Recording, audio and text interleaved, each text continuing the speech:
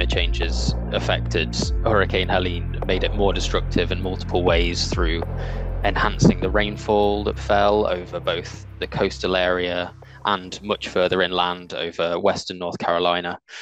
Um, it also made it kind of windier, more intense, and therefore more destructive um, in that sense.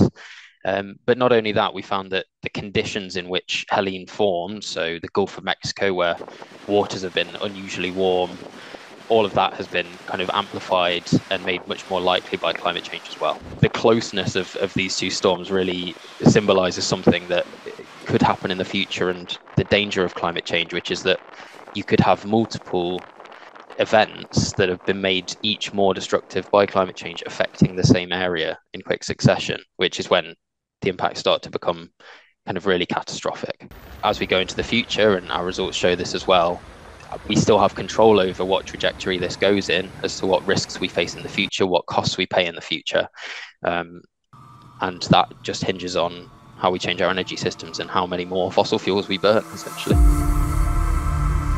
It's not done yet. Um, we are worsening every year with respect to the warming that's caused by fossil fuel emissions that year on year are still going up.